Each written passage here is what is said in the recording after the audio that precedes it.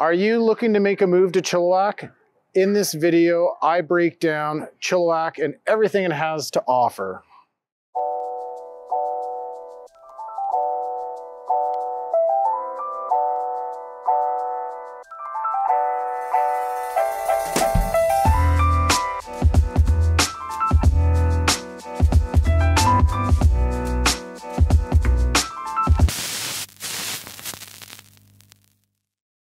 Chilliwack is popular for its corn. You see Chilliwack corn all over the place in the summer, but Chilliwack is so much more than corn.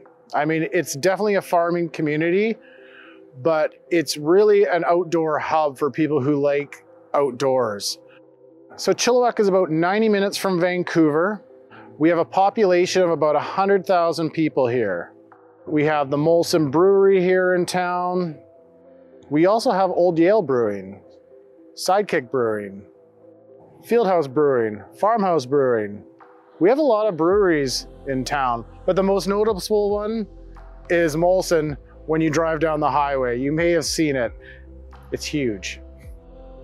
But really, I think what Chilliwack is popular for is there's just so much to do here.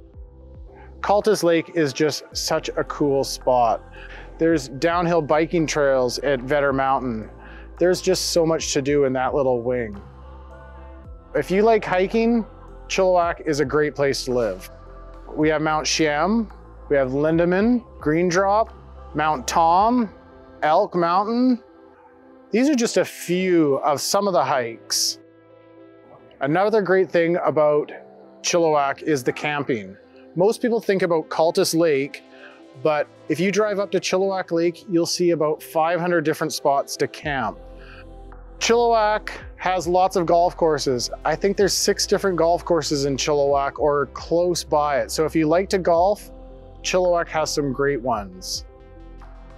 It's really the perfect community for raising a family. Uh, I have five kids and there's just so much to do in Chilliwack. It's such a hub to all the cool things to do.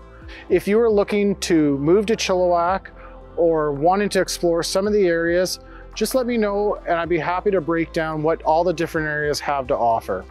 Thanks for watching my video.